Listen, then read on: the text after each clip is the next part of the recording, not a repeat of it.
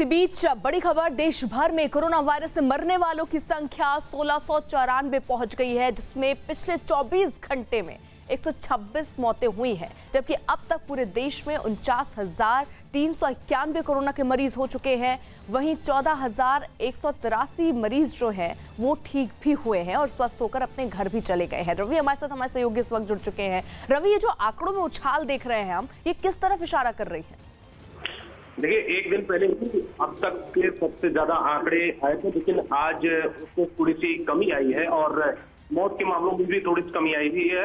हालाँकि स्वास्थ्य मंत्रालय की तरफ़ से ये कहना था कि कुछ पश्चिम बंगाल की तरफ़ से आंकड़े नहीं शेयर किए गए थे, उसकी वजह से एक दिन में अचानक मामले मामलों में बढ़ोतरी हुई है। लेकिन उनतीस नए केस आए हैं, ये भी कम मामले नहीं है।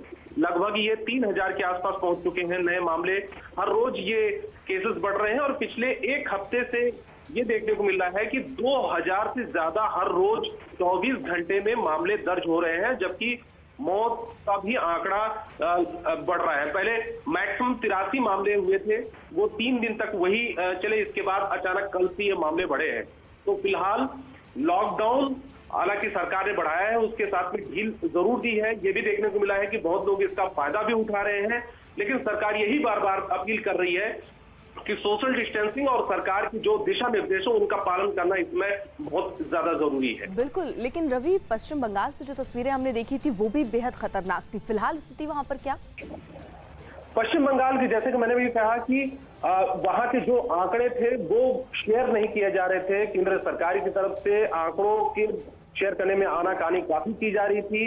एक मई के बाद जो हमारे सूत्र बताते हैं कि वो आंकड़े नहीं दिए गए। अचानक दो दिन में जो आंकड़े दिए गए उसकी वजह से अचानक उनमें बढ़ा और पूरे देश में मौत का आंकड़ा बढ़कर एक हो गया चौबीस घंटे में। तो पश्चिम बंगाल की भी स्थिति काफ़ी खराब है लेकिन जो सबसे ज़्यादा है कि महाराष्ट्र दिल्ली और उत्तर प्रदेश मध्य प्रदेश राजस्थान ऐसे जो राज्य हैं वहाँ पर स्थिति काफ़ी ज़्यादा खराब हुई है। उधर झारखंड